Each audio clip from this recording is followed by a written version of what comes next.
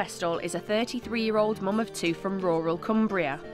Two years ago, she decided to become a primary teacher, so has been on a flexible part time teacher training course since 2005. Being a mum, she's already familiar with primary education and contact with children. However, Christabel also works as a non teaching classroom assistant at Casterton Primary School. Both of you have got outstanding work. At the moment, Christabel is on a work placement at Beetham School and is being mentored by Jude Harkness. Jude is 23 and has been a part time Key Stage 2 teacher here for a year. Christabel is only her second student and they've been working together now for eight weeks. Christabel is about to teach a numeracy lesson to Key Stage 2 pupils in the school, which has a roll of only 39 pupils. For me, one of the most important things about having a mentor, and certainly a mentor like Jude, um, has been just the support that she's given me and the encouragement, um, and always knowing that I get honest feedback from her. Um, when it's come to the planning, which I think when you come straight to placement is very difficult at first. She was very careful not to give me too much, but not to give me too little um, to, to put into the lesson. And uh, it just seemed to gel. Because I've only been out of college myself for three years, I think things were fresh in my mind as well. Um, and I can remember the things I wanted as a student. So it gave me some ideas of of what I was coming into. Talk me through this morning then, Christabel. Right, for our maths lesson this morning, we're doing today's lesson's the coordinates lesson. Um, I've got my plan here, and the introduction to the lesson, mental oral starter, I'm going to ask the children to recall what they can remember about coordinates. Okay. And then I thought I'd go to the National Numeracy Strategy ITP grid. I've got my steps to success to put on the board. Brilliant. For starting at the origin, then going horizontally, vertically, Yeah, and how we write recognise some them. of those words. Uh, is that all right? and then the task, individual tasks, I've differentiated for the year threes and the year fours. And then for the plenary, I thought for five minutes I'll give them an empty grid to draw their own shape on. And then uh, somebody can read out their coordinates, and whilst another child plots it again on the ITP grid. Wonderful. So that's uh, that's my lesson. Okay, we'll go to the classroom. Okay. Today we are going to be remembering how to plot, how to read, and how to write our coordinates. I want you to turn to the person sitting next to you, and on these whiteboards, I want you to write down everything and anything that you can remember about coordinates. I tend to make notes throughout an observation and then I will talk to the student after the lesson or at the end of the day um, and get a general feel for it, asking them how they thought the lesson went first before giving my own opinion. I'd give my, um, my positive advice first and then feed in things I thought that they needed to to work on maybe and target for next time. That's actually a nice way of receiving feedback because it, you know, you put them down as any negative goes down as a target, um, and uh, we decide on those together. So uh, I mean, I've, there's never been an occasion when Jude said, "Well, I thought this didn't go very well," and I've said, "Well, I thought it went really well." So we usually agree, don't we, on what because I can feel how it's uh, you know if things are going wrong.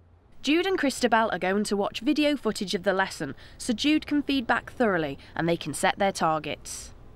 Today we are going to be remembering how to plot, how to read, and how to write our coordinates. Can anybody remember Miss Harkness's rhyme for remembering which line is horizontal and which line is vertical? Bradley, go on, what is it? Veronica um, stands on the head, horizontal Harry lies on his head. He does, yes, but you've said it back to front. We say it, we, we talk about horizontal Harry first, don't we? Okay, so we say horizontal Harry lies in his bed, vertical Veronica stands on her head. Not only does it tell us that horizontal Harry lies flat like that, but also that when we plot coordinates, we plot the horizontal number first and then the vertical. Okay? It was good there repeating the words horizontally, vertically, so it's getting clear in the children's Yeah. head when they come to do it themselves.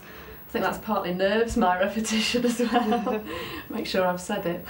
Write the coordinate for that, and then you go start to go around the shape. Write that one, that one, and that one. Right, someone in year three hand out the year three for me. And Natasha, can you hand those out for me, please? And year fours. Year four. Don't forget to write your name and the date at the top of your sheet. thought it was really good. You've got two differentiated tasks there.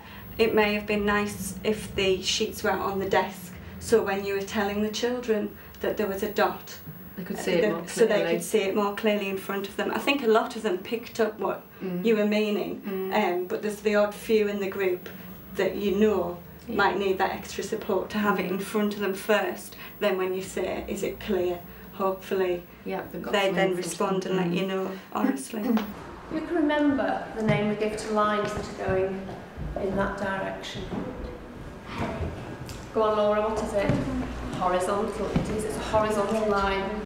Throughout the lesson, when you're doing your Mm. shared part, as well as hands up and looking for children with hands up, maybe direct some questions at individuals. Mm. So those that don't answer as often, or maybe just aren't as confident putting their hand up, you could think of a, a differentiated question that you know they're capable of answering, Yes, yeah. and then targeting to them and saying, Ryan, can you Mm. answer this? Darren, can you answer? Mm. And feeding them a question Mm. um, and they are quite used to that Mm. rather than it always being hands up the same up. people. Yeah. It is something that I do want to include in my lesson, um, but sometimes there's that much to think about. I forget to remember who I've actually asked. I can always say I know that Jeannie, it's her hands always up, um, and and so yeah, it's something that I think.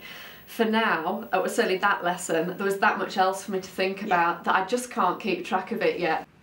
Now then, what do we put around our coordinate? Your coordinate for that point is 3, 6.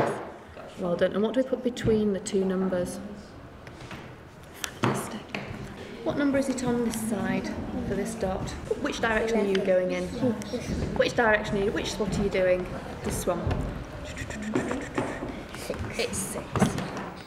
That was really good work one to one.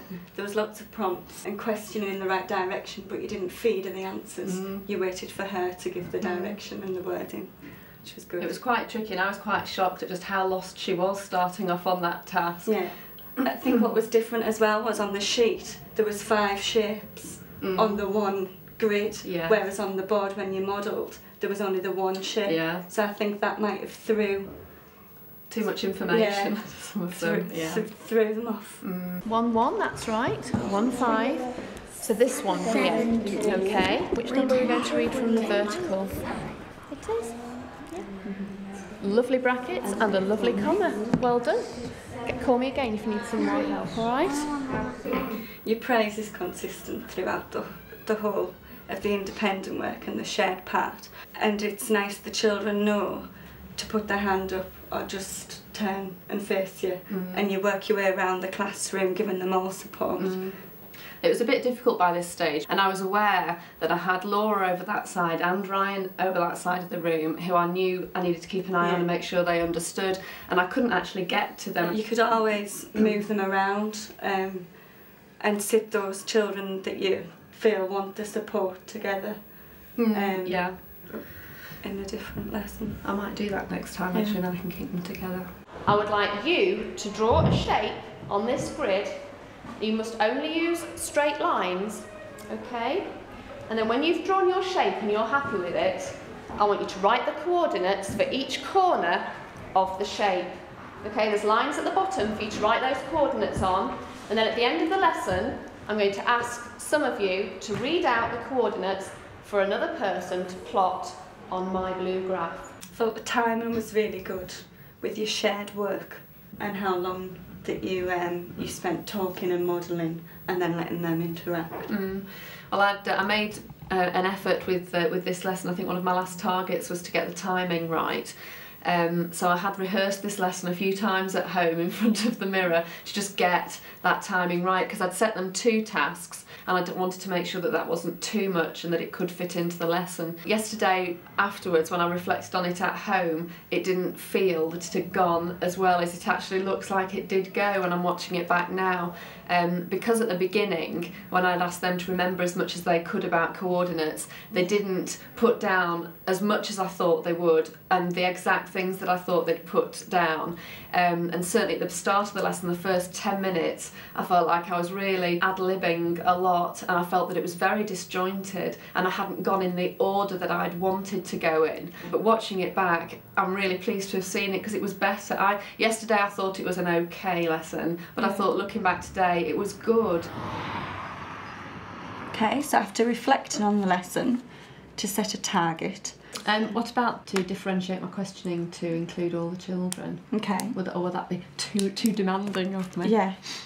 Another one to differentiate key questions to individual pupils. Mm. Yeah, I think to try and make sure that um, that I do include uh, all the children when Yeah. I'm questioning throughout the lesson, so they've all had a turn. Yeah, I think that'll give you as well any idea. If it wasn't in your plan to work with a certain group of children and you saw from your questioning Mm. that there was a certain individuals, you could then even change things and adapt it and take them Yes. into a group yeah. and continue with your Yeah. lesson. Excellent.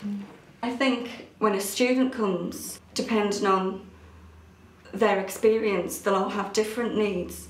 Um, Christabel, with her having children and having previous experience in school elsewhere, I think Christabel's needs weren't as um, extreme as what another student may be. Um, she knows the life and the routine of a school. She knows some curriculum knowledge already. Um, so you, you weren't as needy as No. others may be. Another overwhelming thing as a student is when you actually look at something like the National Numeracy Strategy, all the jargon that's in it. That for me has been my Yeah. biggest challenge. I can't imagine combining that with trying to get to know what a child is um, and, and having absolutely no prior knowledge of the and just the basics like bell goes at nine o'clock where the where what lesson structures are and when Mm. playtimes and things are um students that haven't got that experience are Mm. coming in really with a, a blank canvas that you've got to help them build i think the student mentoring experience has been really good um, not only for myself and Christabel but for the children in the class as well um, on a personal level when I'm watching Christabel or even having Christabel observe me, um, you're always reflecting on things that you're doing as things are mm. happening. I think for the children it's really nice to have mm. another adult in for them to work with and get to know and respect. From my point of view, from a mentor, I would uh, I certainly appreciate having someone who is uh, open and, uh, and again just wants to pass on their love of teaching to me and uh, who wants to actually, who wants their student to be as good as they are. And also, you know, don't get an email from your student on a Saturday night and think, flipping out, our student's emailing me again. You know, think, great, my student, you know, wants to get it right an email back, you know, with any with any query. I certainly would consider being a mentor when I, if I ever qualify. When I qualify, um, I would certainly want to gain a couple of years' experience, and then I would definitely um, want to be a mentor and pass on, you know, my good experience to somebody else. Um, most definitely.